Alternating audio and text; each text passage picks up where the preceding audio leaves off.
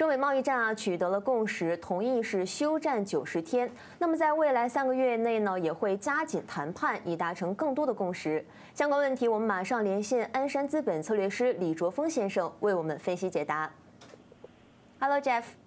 哎，Hello。嗯。我们想了解一下这个特席会呢，虽然现在是达成了一个共识，但是这个是否就真的意味着这个中美贸易战降温了呢？您认为这个九十亿的谈九十日的这个谈判啊是缓兵之计呢，还是只是有一个释放出了这个暂停贸易战的一个信号呢？呃，很很难说，现在就是贸易战的已经暂停了，话是真的停下来，因为未来九十天要探讨的事情还是比较多。我跟你想的是一样的，是应该是中美这个贸易战在这个九十天里边，在这个探讨的实践里边，我们试试缓一缓，就是一个暂停一下而已，就是给一个时间让大家有呃可以商讨一些大家也可以满意跟合理的一个解决方案，比方说。中国跟美国的要买进多少农业产品等等，这种都是美国关注的，怎样去受在这个我们之间的贸易逆差，这个也是要探讨的。可是我们发现就是，呃，特朗普就是特朗普，他时时常常把他的调子转。转转变，今天的谈的挺好的，好像以前都有见过。美国跟呃北韩的呃竞争，因这次他们也就谈过一些核子的问题啊，还有贸易的问题。可是很快的，就是把这个基调，就是从好的正正面的这个调子，就是把它转成一个负面的，所以。呃，我想说的是，投资人不要太乐观，就是阿杰是停了九十天，应该是真的停了。其实中间还有很多的波动，特别是特朗普，他常常的把这自己的意见，还有他我们谈好的那个行为，常常都是转了到另外一个调子。嗯。那我们也看到说，这次这个会晤上啊，中美两国领导人呢，他就是呃同意就这个敏感议题对话，呃，比如说包括这个科技转移啊、知识产权保护啊、网络盗窃等等，这些都是比较敏感的一个深水区域啊。那您觉得这些敏感议题达成共识的几率在未来会有多大？那么在呃接下来九十天也时间其实蛮紧张，三个月啊，哪些板块呢将会更加的受到悲注或者承压？呃，我选择之前受到影响的板块，特别是手机啊、芯片股份，还有科技股份呢，这个会有一个我们要多关注一点。刚才主持人也说过了，呃，在未来九十天，其中一个呃，刚才有说过两个问题，就是中国跟美国买多少公司，还有另外一个部分是贸易呃贸易逆差怎样去收呃收少一点。第三个就是你刚才说的，在科科技类的。比方说这个 IP 啊，这个就是科技的产权，怎样是那个呃 copycat，就是复制人家的技术等等了。这个其实很难谈下来，因为我们看这是美，哎，这是不是我们国家跟哎美国的问题？是本身美美美国本土化是美国跟韩国，我们就说 Apple 跟 Samsung，其实一直来过去。十年到二十年都存在这个问题，这个不，我我不相信是九十天之内可以有一个很定下来一个案子，就是说怎样才算是我拿了一个 IP，怎样哎还算是中国自己的发发明？我看我们国家的一个态度应该是，我们会更集中在中国自己自主研发的一种科技产品啊，核心的技术应该要放在我们国家自己的。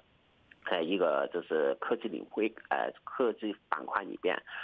特别是芯片的这一块可是呢，我我们会看，就是九十天之内呢，之前美国跟中国停止了一些科技，还有一些技术的输出，还有出售这一块呢，能不能在中间两个国家之间能不能有解决的方案？比方说，是特别是中国跟美国，或是美国跟中国买下，还是分散，还是注用了？这种技术的这呃这个传呃技术核心的技术的研究，怎怎样去把这个呃技术还有应用分享到两个国家之间？嗯，可是要一下子把它全都搞定，这个是没可能的。嗯。对，我们也非常同意您的这个看法。那接下来我们把这个目光聚焦在港股。现在这个市场有分析认为呢，此次谈判的结果是有利于股市的。恒指呢，本月呢可能会上升至这个两万八千点。对此您怎么看？哪一些板块它的利好会较大一些呢？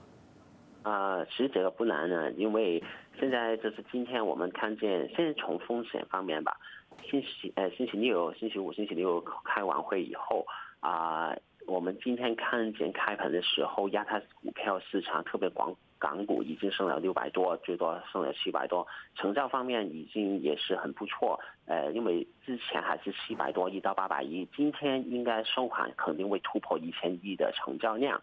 那这个是投资人的信心已经重新回回到市场了。我们除了看港股，也看了一下亚太呃地区的股票市场，也看了这个石油。我们看石油在今天啊亚洲场外 OTC market 的哎开开盘 over the counter，我们已经看见已经纽约的石油就是已经到五十三块钱，就是有个很大很明显的升幅。那这个也是代表了投资人的风险的威力，就是特别是他们对风险的接受能力已经上升，他们更愿意把钱投到市场里面。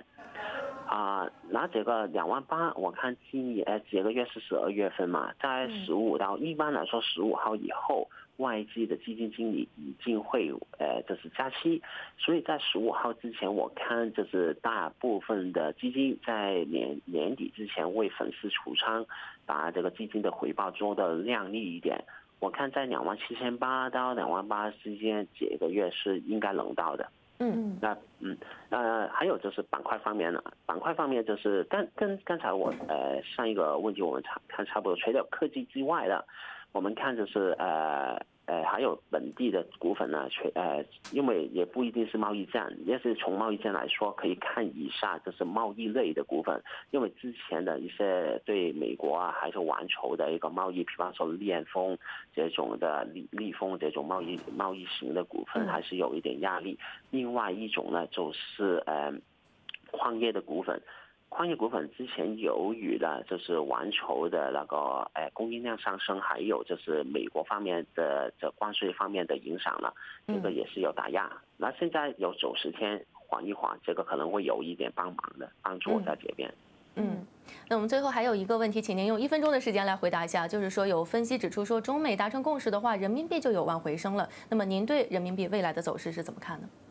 嗯，人民币其实我不太看见，就是呃，这个九十天还是呃，除非某贸易战真的停下来，要不然人民币很难会回到这六点三、六点四或者六点五，这个是没可能的。啊，短期的我看法是还是波动，就是人民币还是，因为太多人看法是人民币要到七算，这个七算还是要破一下今年。嗯。呃，短期在九十天之内应该是六点八到七之间，这在这个区间去，呃，就是游走了。嗯。